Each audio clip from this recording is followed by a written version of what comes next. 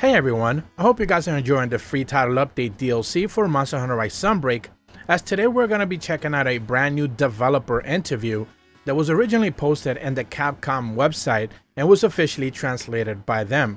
So we're not going to be doing any actual manual translating this time around. And what we're going to be discussing is the newly introduced followers mechanics and how it is that the developers basically decided to come up with them and more importantly, what their roles are set to fulfill according to the developers themselves.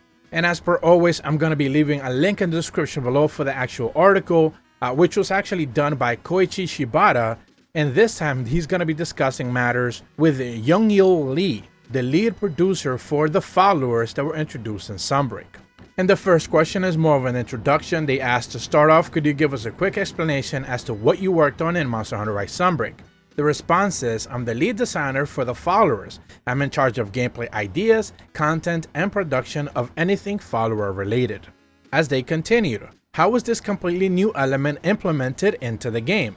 And the response was, it started with Yoshitake Suzuki, the director, saying that he wanted to have a sort of buddy hunter that would fight alongside the player. So we threw lots of ideas around and we figured that it would be the most fun to hunt together with the characters that appear in the world of Monster Hunter. And they wouldn't just be characters that you would be fighting alongside with, but they would be actively joining in other elements in the hunt as well. And that's how we ended up with the concept of followers. We tried out a lot of gameplay ideas as well. Ultimately, we wanted players to feel the real connection between these characters. So we added dialogue to the start and the end quest and even conversations between the followers to give them more life for each of the characters. And that's pretty much right in line with one of the previous developer interviews that we went over where the development basically suggested that they wanted to bring along some of the characters that they had made memorable in Monster Hunter Rise, basically Minoto and Hinoa. They wanted players to have more of a better connection with those characters outside of Kamura Village and uh, one of the places that you got to see them do that was in the Rampage and the original Monster Hunter Rise. So when it came to Sunbreak, they needed to figure out a way to be able to have those characters that they were going to be introducing there to be able to come with you alongside a hunt, and this where the followers idea came about. The next question reads, Looking at the comments in social media, there seems to have been a lot of positive feedback from players who like the fact that the followers help out by healing you or placing traps and that they're very reliable on how actively they attack the monsters. How do you feel about this? The response was, we received a lot of positive feedback than we expected, so we're very happy.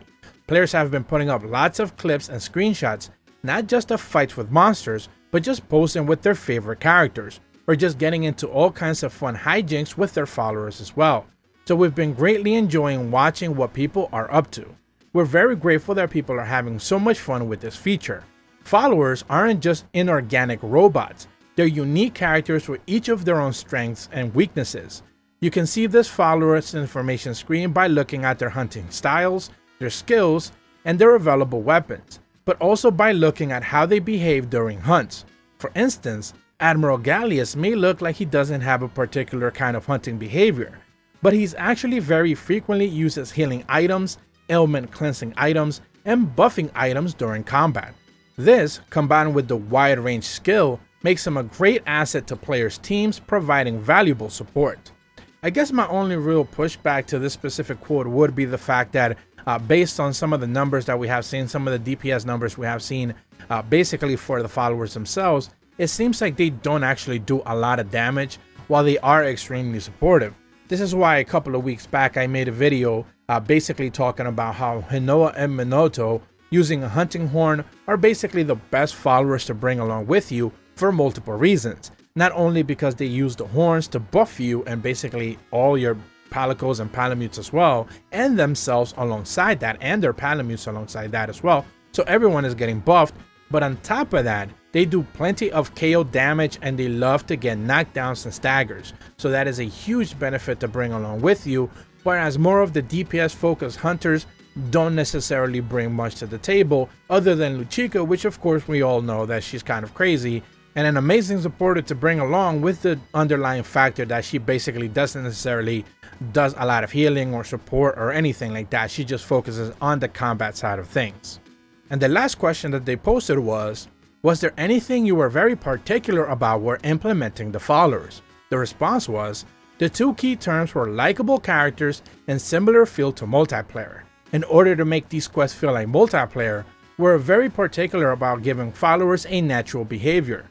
We didn't just want them to think that they were fighting alongside AI, but we wanted these characters to actually be reliable in combat. If you have them repeat the same determined behavior over and over, it won't feel natural, and it'll just feel like you're being accompanied by a robot. So we made sure that sometimes they'll just run around and carefully avoid the monsters while healing, to make them feel more as if you're playing with hunters in multiplayer. It's easier to make an NPC that can just destroy everything. But the key to making it feel as if they're actually fighting along with you is to have them behave realistically, which was a lot of hard work, but it was worth it. The ultimate goal of followers was for the players to get the most engrossed in the story and the world interacting with these characters. So after we managed to get them and behave realistically, we focused on showing unique personalities in combat. Based on the character settings, we decided which weapons they would be able to use, what kind of items they'd use the most, what kind of actions they'd be able to perform, and each follower has their own charm and flavor. Especially when taking on two followers with you. There are some fun conversations and the way they respond to gesture and poses or just hanging around is really fun. So there's more to it than just seeing how they behave in action, we hope everyone picks their favorite characters and enjoys taking them out on hunts. And while I do think that, you know, Hinoa and Minoto are the best followers to bring along with you on a hunt, I do certainly encourage everyone to try out the other followers as well. Uh, I saw a lot of people basically mention that um, Master Utsushi also using a hunting horn is pretty good because he's more offensively focused. So if you're more interested in having a hunting horn damage user, uh, he's pretty good as well.